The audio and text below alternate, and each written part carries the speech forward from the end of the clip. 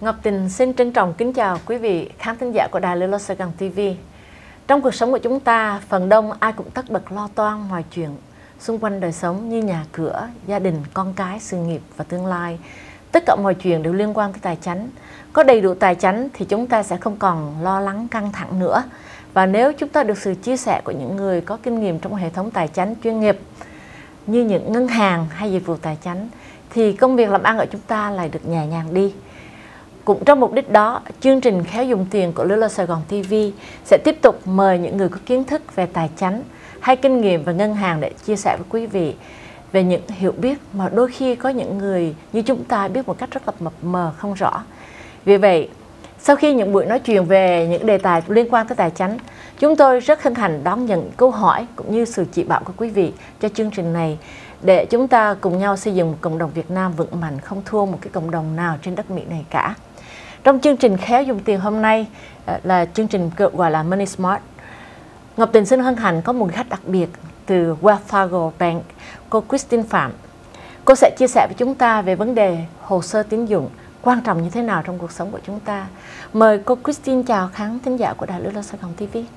Dạ thì trước tiên à, em xin kính chào chị Ngọc Tình và dạ, xin à, kính chào tất cả những khán thính giả um, của đài Lê Sài Gòn TV và nhân dịp hôm nay cũng xin cảm ơn đến uh, uh, Lê Sài Gòn TV đã cho Christine có cơ hội để đến với um, chương trình ngày hôm nay. Oh, cảm ơn Christine đã có mặt hôm nay. Hôm nay chị em mình nói về cái hồ sơ tín dụng nha. Dạ. À, tình có nhiều câu hỏi về hồ sơ tín dụng mà tình nghĩ là rất có nhiều khán thính giả cũng đang thắc mắc lắm. Dạ. Mà nếu có một ngân, ngân hàng như Wells Fargo mà uh, giúp đỡ thì tình thấy cũng rất là quý. À, cái câu hỏi đầu tiên của tình hỏi là rất là simple dạ. là cái thành tích tín dụng là cái gì hả Christine? Dạ thì thưa chị Tịnh thành tích tín dụng thì thông thường bao gồm 5 yếu tố um, yếu tố thứ nhất là 10% đơn xin vay nợ 10% là cách sử dụng uh, tín dụng. 15% kia đó là cách um, cái quá trình uh, mình có cái tín dụng. Um, yếu tố quan trọng là 30% đó là tài khoản tín dụng của mình đang có và um, đó cũng bao gồm nhà cửa xe hơi hay là những cái uh, thẻ tín dụng mình đang có. Nhưng mà yếu tố quan trọng nhất đó là 35% là cách mình trả trả tiền hàng tháng của các um, tài khoản um, mượn nợ mà mình đang có. Ồ, vậy là tất nhiên là người nào mà trả tiền không đúng hoặc trễ là hay bị ảnh hưởng tới cái hồ sơ tín dụng của mình dạ, phải không? đúng rồi chị. Dạ. À, bây giờ nếu như vậy thì làm cách nào để mình có thể giữ được cái thành tích tín dụng của mình được tốt? Dạ thì um, muốn giữ thành tích tín dụng của mình tốt thì cũng giống như là mình uh, muốn có một cái sức khỏe tốt và nếu muốn có một cái sức khỏe tốt thì mình cũng nên um, uh, ăn uống đầy đủ hay uh, là mình cũng nên uh, hoạt động và cũng nên đi kiểm tra bác sĩ hàng hàng năm để mình mình coi kết quả thử máu à. ví dụ như vậy. Dạ. À, thì như vậy thì đối với trong cái trường hợp của tín dụng thì mình làm thế nào thì dạ. mình thì từ sức khỏe thì mình biết như vậy rồi về vấn đề tín dụng thì dạ. phải làm sao thì uh, trong vấn đề tín dụng thì mình cũng nên là ví dụ như mình đang có cái um, uh, um, cái uh, uh, tiền uh, tiền ga tiền điện tiền nước này kia tiền hàng tháng những khoản tài khoản đó thì um, hay là những cái um, uh, điện thoại di động mình đang có thì mình cũng nên trả đúng hạn và không nên trả trễ và những cái thẻ tín dụng mà mình đang có mà uh, mình không nên xài quá mức uh, quy định của những cái thẻ đó. Oh, như dạ. vậy là khi mà mình có thẻ credit card của mình đó dạ. là mình không nên xài quá mức hả? Dạ, Nghĩa là rồi. xài vừa phải thôi phải không? Dạ đúng rồi thì thông thường mình xài ừ. thì khoảng độ 35% là tốt nhất. À, dạ, như vậy hả? Oh. Dạ 35% khoản nợ. Ví dụ như là um, mình uh, income hàng tháng mình làm 10 ngàn và những cái nợ đó thì mình nên sử dụng dưới ba ngàn rưỡi trở lại mà thôi. oh, vậy đó. À, dạ. ok vậy là cũng phải là có thẻ 10 ngàn là cứ xài 10 ngàn dạ, là không tốt phải không? Dạ đúng rồi. À, vậy có những người họ có những cái những người họ apply từ năm thẻ 7 thẻ rồi sao? Dạ thì um, apply nhiều quá thì cũng không có tốt. À, có nhiều người cứ tưởng là mình không có mình apply mình cứ đi xin đi xin như vậy á. Mỗi lần mà mình xin um, xin đơn mượn nợ đó thì um, ngân hàng sẽ kéo cái um, thẻ tín um, kéo cái uh, chương Cái trình hồ sơ. cái hồ sơ của mình và thì ừ, mỗi khi mà kéo như vậy đó thì mình bị mất điểm cái điểm À. FICO score của mình rất là quan trọng chị ạ Ờ vậy hả? Ờ rồi, làm cách nào để tạo cái FICO score nghĩa là cái um, cái điểm tín dụng của mình? Dạ thì à, ừm, ngân hàng Wells Fargo hàng năm thì khoảng à, tháng 10 và tháng 11, tháng 10 cho đến tháng 11 đó. Bây giờ là tháng tháng 5 tháng 6. tháng 6 dạ thì khoảng à, độ đâu 4 5 tháng nữa à ha. thì ừm, ngân hàng có một cái chương trình Get Smart About Credit Ừ. thì à, tất cả những ừm, khách hàng của à, Wells Fargo có thể tham khảo đến với à, ngân hàng để mình có thể xin một cái à, cái ừm, cái báo cáo miễn phí Ồ, miễn Dạ. phí là tốt rồi. dạ đúng rồi Ok, nếu mà mà khi mà mình mình kéo cái hồ sơ tín dụng của mình ra thì mình đi tới ngân hàng thì ngân hàng tự động kéo cho mình hay là mình mình xin tự kéo hay sao? Dạ thì à, khi mà à, khách hàng à, tham khảo à, qua nhân viên của ngân hàng Wells Fargo thì um, trong đó mình có thể um, kéo cái hồ sơ qua ba cái um, ba cái công ty chính đó là TransUnion, Equifax và Experian. Ờ, những công ty đó um, họ tạo cái hồ sơ tín dụng của mình hay là hay là mình làm mình, rồi họ họ họ chỉ tịch thu lại thôi. Dạ thì chính mình chính là người tạo ra cái hồ sơ của mình À ha. và những cái hồ sơ giống như hồi nãy em nói những cái yếu tố Ừ. um, đó là những cái thành tích mà mình trả tiền hàng tháng có đầy đủ hay không hay là mình hay trả trễ và mình có thường hay mượn nợ nhiều hay không dạ Vậy là chỉ có Wells Fargo mới cho cái hồ sơ tín dụng không tốn tiền. Về những công ty kia họ có cho không? Dạ có chứ chị hàng À năm hả? thì um, bất cứ ai cũng có thể là tham tham khảo qua trang mạng là annualcreditreport.com À ha. um, và có thể tham khảo qua ba công ty chính là giống như nãy em vừa lập qua đó À ha. là TransUnion, Equifax và Experian Ừ. mình có thể tham khảo Vậy thì tốt quá ha. Dạ. Như vậy nếu mà mình biết cách như vậy thì mình giữ gìn cái hệ cái hồ sơ của mình tốt. Dạ. Nếu mình thấy gì sai trái thì mình phải ừ, sửa liền phải không? đúng rồi đúng Ừ, rồi dạ thì, thì trong đó ví dụ như là mình coi cái um, cái um, tín dụng của mình đó mình coi cái um, thông tin những cái thông tin đó ví dụ như có những thông tin mà nó không phải là của mình mà bị đánh cắp thì mình có thể làm một cái đơn để mình ờ, giống kiểu như là khiếu nại vậy đó Ừ. để họ sửa chữa trong Ừ. cái hồ sơ của mình Ồ, như vậy thì quá tốt. Như Dạ. vậy nếu mà mình biết như vậy thì mình thấy cái gì sai thì mình phải sửa liền. dạ đúng rồi ha. Tại vì khi mà mình làm đem cái đơn tới ngân hàng Dạ. thì ngân hàng sẽ dựa vô đâu để quyết định à, cái để chấp thuận cái đơn vay mượn mượn nợ của mình.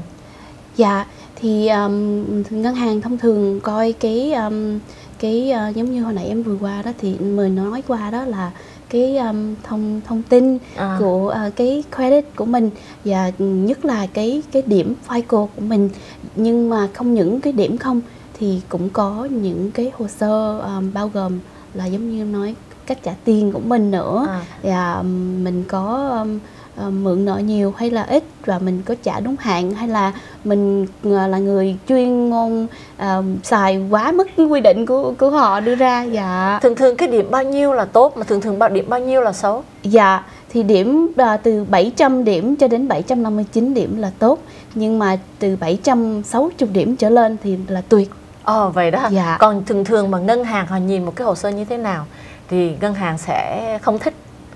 thì à, những à, Cái cái, điểm hồ chừng sơ dạ Ừ. thì cái điểm mà à, khoảng à, 600 đến 640 thì là không có được tốt lắm Ờ nhưng mà Dạ. mà rồi làm đơn xin những cái đó có bị có bị, bị từ chối hay là vẫn được chấp thuận? Dạ thì nó cũng tùy theo chứ không nhất thiết là mình phải từ to, từ chối liền Ừ. bởi vì um, mình coi ngân hàng thì thường thường coi là um, khách hàng có dùng uh, có thẻ tín dụng có cái um, uh, thông tin bao lâu rồi Ừ. uh, mình đã tạo cái thành tích bao lâu rồi À. và mình có trả trễ hay là không và um, những cái yếu tố đó Ờ, như vậy theo theo như Christine nói tất nhiên là mình nên có cái thẻ mà càng lâu càng tốt phải không? dạ đúng vậy chị Chứ dạ. cái thẻ mà mới quá mà nhiều thẻ mới thì không tốt. nhiều thẻ mới quá thì không tốt bởi vì mỗi khi mà mình xin thẻ đó thì um, ngân hàng phải kéo cái cái cái thành tích của mình và mỗi khi vậy thì cái điểm của mình sẽ lại bị, bị xuống. trục xuống à, Dạ. như vậy là xin quý vị nhớ rằng là chúng ta nên có những cái thẻ mà lâu lâu năm thì phải Dạ. giữ đừng Dạ. có apply những cái thẻ mới hoài phải không? Dạ. Sẽ cái điểm của mình nó sẽ bị thấp xuống. Dạ. Rồi, nhưng mà tình để ý mỗi lần mình đi mua xe là cái điểm của mình cũng trục xuống phải không? Dạ đúng, à, mua xe thì cũng cũng giống như là mình phải kéo cái điểm của mình, kéo cái cái cái thành tích của mình thì cái điểm của mình sẽ bị trục xuống. Nhưng nhưng mà cái um, cái điều đó là mình nên chú ý là khi mà mình mua xe thì mình có thành tích mới thì cái thành tích đó mình nên trả đúng hẹn, mình nên giữ cho nó đúng. Thì sau khi mình trả hết cái xe của mình rồi thì cái điểm của mình nó sẽ giúp cho mình nó sẽ đưa lên. Ờ, nhưng mà tình để ý có một cái nữa à, nếu mà có những người mà họ họ rất là kỹ về vấn đề ờ, tiền lời họ đi kiếm chừng ba cái dealer cùng một ngày Dạ. là cái điểm của họ tuột xuống liền một cách rất rõ ràng phải không Dạ đúng đúng như vậy. Ừ. Thì theo cái kinh nghiệm của em đó là một khi mua xe thì em um, em chú ý đến rất quan trọng đó là cái cái phân lời À. bởi vì mình mình biết là cái điểm của mình là điểm tốt cái thành tích của mình tốt thì mình ờ, mình có Ừ. thể yêu cầu là cái phân lời của mình được giảm xuống Đó. so với những người khách hàng khác dạ thì nếu mà một khi mình chưa có quyết định mình mua cái xe đó thì không nên à, không nên à, để họ kéo cái thành tích của mình. Ờ, như Dạ. vậy thì là theo như Christine nói rằng là khi mà mình tức là mình phải nghiên cứu trước. Dạ đúng. Nghiên cứu thật là kỹ Dạ. trước khi mình đi tới dealer. Dạ. Chứ còn nếu mà mình mình cứ một ngày mà mình đi ba bốn cái dealer là cái điểm mình tuột xuống mà nhiều khi mình không được cái good rate mà cái điểm nó tuột từ từ phải không? Dạ đúng Ừ. như vậy. Thì cũng giống như là dạ, giống như là mình mua nhà vậy đó thì mình phải đắn đo phải suy nghĩ thật là kỹ. À. trước khi mình mua căn nhà đó nó có hợp hay không. Dạ, nhưng mà mình mình phải coi à, thật là rõ.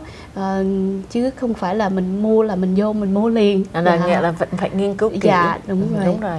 Nhưng lúc mà mình đi ngân hàng cũng vậy phải không? Dạ ok um, cho tình hỏi câu thế này nữa là cái thành tích tín dụng cá nhân của mình á nó có ảnh hưởng thế nào khi mà mình đi tới mình mình xin một cái đơn xin mừng nợ kinh doanh cái hai cái nó có liên quan với nhau không Dạ có chứ chị. Ừ. Dạ nó liên quan à, đó là một cái thành tích rất là quan trọng. Ừ. Bởi vì mình phải có cái thành tích um, cá nhân tốt thì mình mới có thể xin cái mượn xin mượn cái um, cái nợ cho um, kinh doanh cho kinh doanh và bởi vì họ dựa theo cái thành tích cá nhân của mình thì bởi vì họ phải coi là mình phải có mượn mượn, mượn một cái nợ nhỏ trước khi mình muốn mượn một cái nợ lớn đúng rồi Dạ thì mình Yeah. phải trả đúng hẹn, mình phải có thành tích tốt thì mình mới có thể ờ, biết tin bước tiếp ờ, cái bước tiếp theo. Ờ, nhưng mà cái kinh doanh chẳng hạn như là một cái công ty nó là một cái corporation rồi mình là cái thành tích cá nhân thì nó ảnh hưởng tới cái corporation không?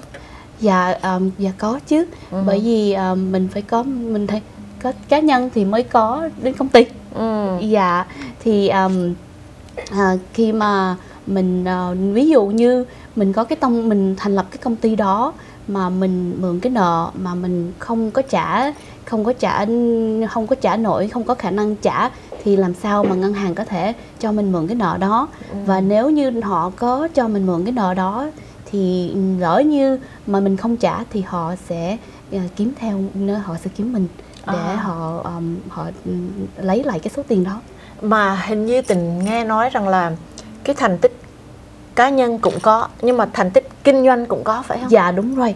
Thì à, thành tích kinh doanh đó thì thường thường đa số thì họ ngân hàng có nhìn đến um, um, khách hàng um, nên có cái thành tích trong vòng 2 năm, 2 Ừ. năm trở lên thì là tốt hơn. Tốt hơn là những khách hàng mà chưa có thành tích kinh doanh bao giờ.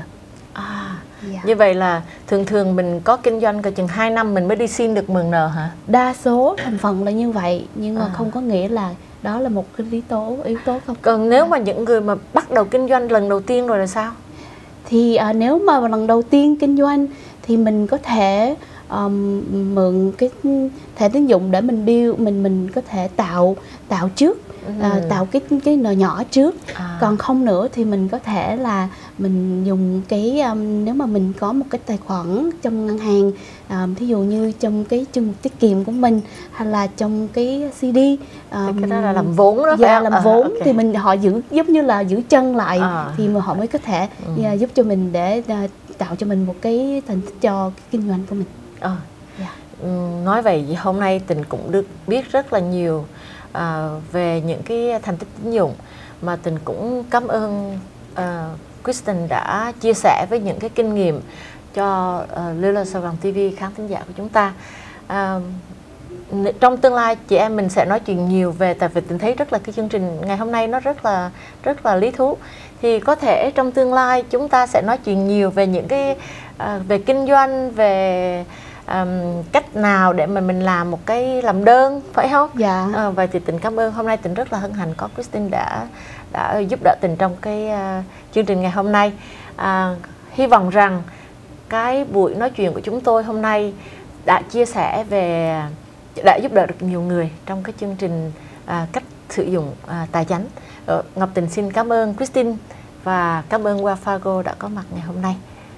À, Christine chào khán thính giả đi. Dạ, dạ em cảm ơn chị Tịnh và um, uh, cảm ơn uh, một lần nữa đã uh, cảm ơn đến với Lero Sài Gòn TV đã cho Christine có cơ hội có mặt trong ngày hôm nay và kính chào khán thính giả.